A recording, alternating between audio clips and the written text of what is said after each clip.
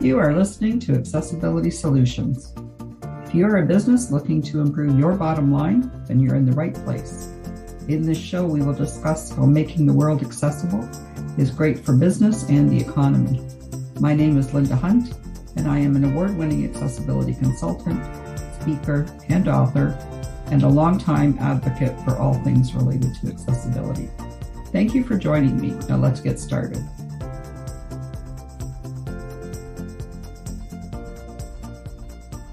Hi there, and thanks so much for tuning in this week.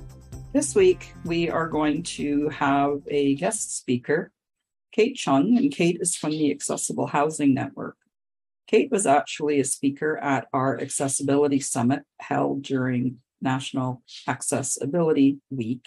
And uh, we were very pleased to have her, and we've uh, decided to feature her topic on our podcast. So, Kate is with the Accessible Housing Network, which is a collaboration of nonprofit Canadian organizations advocating in support of people of all ages as to live as they wish in housing that is fully accessible. Their mission is to ensure that, whatever their age or ability, every person in Canada can live in housing that is fully accessible. To this end, they call on every level of government to make universal design mandatory in every unit in all new multi unit residential buildings. The Accessible Housing Network wants to get out the message that housing is a human right and that the need for accessible, affordable housing is truly a crisis. More than 22% of Canadians have a disability, and anyone can be born with a disability, but everyone is just one fall, one accident, or one illness away from a disability, and that could be temporary or permanent. Kate's message is going to be that there needs to be a change to the national and provincial building codes to make universal design mandatory in all new multi unit residential buildings, both rental and ownership. We're very, very pleased to have Kate join us in this episode of our Accessibility Solutions podcast. Thank you very much for the thorough introduction. I'm going to skip down. I was going to say some of that.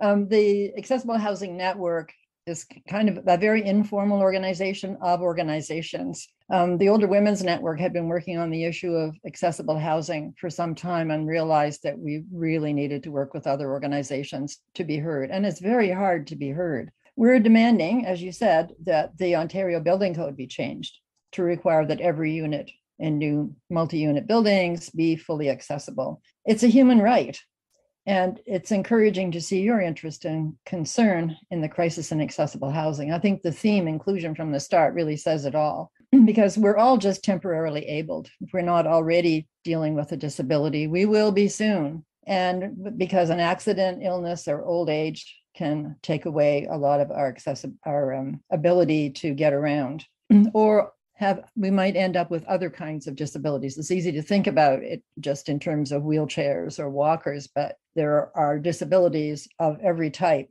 So the, the issue of accessibility in housing affects us all, either now or in the future. Uh, my introduction to this issue came quite a, a couple of decades ago, more than a couple of decades ago when I was living in a co-op in Scarborough. And there was a little girl who was about eight years old who used an electric wheelchair and she couldn't play with any of the other kids. I'd see her outside in the summer scooting around with the other kids at the corner, but she was in one of the very few accessible units in a, a large co-op. So in bad weather, she couldn't play with anybody else because all the other townhouses had steps front and back. So I thought, well, someday maybe I can do something about this. So that's what I'm doing now. And now in my 80s, I have a personal interest in this. I've had one knee replacement. My husband's had two hip replacements. And when we came home from the hospital, we couldn't even get the, in the door of our bathroom with a walker. It's just, this is a condo, but it's an old condo and it was built with narrow bathroom doors. I don't know what they were thinking when they designed this. Obviously, it was designed by, by some hip young person who wasn't the least bit worried about getting hit by a truck. So, despite the fact that over 24% of Ontarians have a disability, there's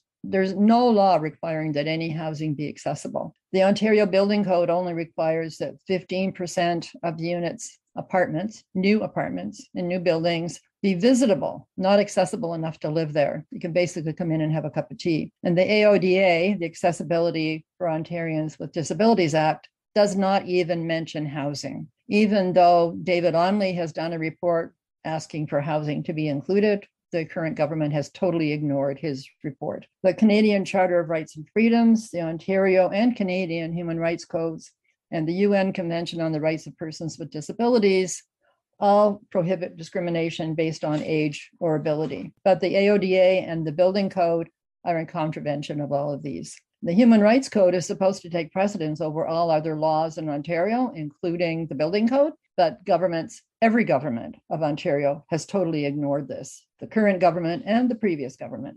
But we know that the benefits of, accessible housing include reduced costs for long term care facilities. Many people could remain in their homes if they were accessible, freeing up spaces in nursing homes, and protection of seniors and persons with disabilities from catastrophes like the long term care during COVID. Uh, accessible housing reduces the need for in home PSW help, it reduces the need for help with housework.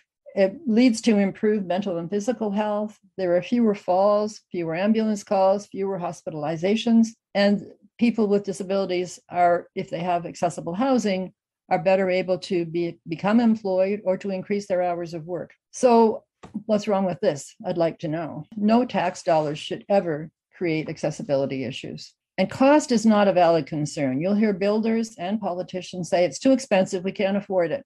But it's not true. CMHC, Canada Mortgage and Housing, has done reports showing that the cost of building an apartment is the same, whether it's accessible or not, as long as you plan it from the design stage. It's renovations to existing housing that are so expensive. And by the way, the Ontario Home Builders Association and the Canadian Home Builders Association both have programs to train their members in doing uh, accessibility renovations for people with houses. Baby boomers, they figure, have a lot of money. So it's basically a cash cow. So, of course, they're not supporting us in demanding that new buildings be accessible. They make more money doing renovations. The municipalities tell us they have to wait for the province to change the building code, but this isn't true. Every city can make universal design mandatory in any new housing developed through its programs. So, any new developments built with any tax dollars or on land made available by the municipality or through agreements to waive development fees or taxes, they can all require that the housing built be universal design. And we're urging Toronto to take that action. And of course, we get back the same argument. Oh, no, we can't possibly do it. No, no, we can't force the developers to do this. But of course, the developers tell us that they will build whatever they are required by government to do. They will build to code provincially, but no more. So let's change the building code. They will build to what the municipalities demand. So let's change what municipalities demand. So now, with the election, we're calling on every candidate in the Ontario election to sign the Accessible Housing Pledge that if they're elected, they'll change the building code to make it mandatory that all new apartments and condos be universal design. So far, 16 candidates have signed. That's not nearly enough, but it's interesting. It includes the leader of the Green Party and several Green candidates. It includes several NDP candidates and a few Liberal candidates, no conservatives. You can print copies of the pledge from our website, accessiblehousingnetwork.org. Accessiblehousingnetwork.org. And if pledges are signed by a candidate, your candidates in your riding, just get them to scan it and email it to us, accessiblehousingnetwork at gmail.com. And that email address is on the website too. Then we're posting on our website the name, party, and riding of every candidate who signs the pledge and a fo- with a photo if we have the photo. So please help us make this urgent change by asking your candidates in your riding to sign the pledge.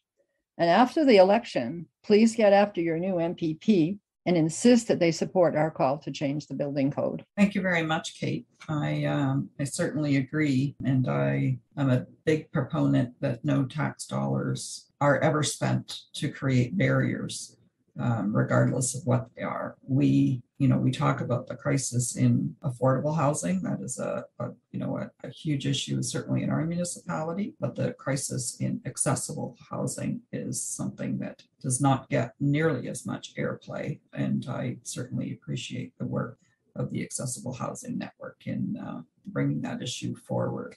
We need to make our voice is uh, heard. As Kate said, we, we talk about 22% of the population. Um, and yes, when you're talking baby boomers, it's 40% of the population over the age of 65 that has some form of a disability. So this is uh, a number that is only going to continue to grow. So uh, I certainly appreciate the work, Kate, that you and your group are doing. I again want to thank Kate so much for her presentation um, that she did for our Accessibility Summit. And if you have any um, questions for the Accessible Housing Network, or you want to get in touch with Kate or the Accessible Housing Network, their contact information is in the show notes. And again, keep in mind that there truly is a crisis in accessible housing in Canada. And we were very, very grateful to have Kate highlight that uh, crisis for us today. Thanks so much, and we'll see you again next time.